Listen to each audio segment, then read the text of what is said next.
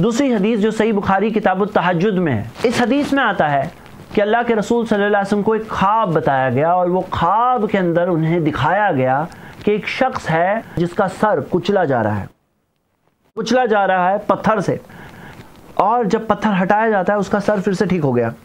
फिर फिर से उसका सर कुचला जा रहा है पत्थर से, फिर से उसका पत्थर हटाया जाता है तो सर ठीक हो गया। बार बार बार बार बार बार उसके साथ ऐसा किया जा रहा है। ये हालत बरज़क में, यानी कि मौत के बाद और क़यामत के दिन से पहले। ये हदीस जो है, इसके मुतालिक ने बताया है कि नबी सल्लल्लाहु अलैहि वसल्लम को एक मिराज तो जो जिस्मी मिराज हुआ, और ये दूसरा मिराज था जो ख्वाब के ज़रिए अल्लाह के रसूल सल्लल्लाहु अलैहि वसल्लम को ये सब बातें बरज़क की बताई गई। ये दूसरा मिराज बताया जाता है, लेकिन ये फ़िज़िकल नहीं था, ये ख्वाब के अंदर था।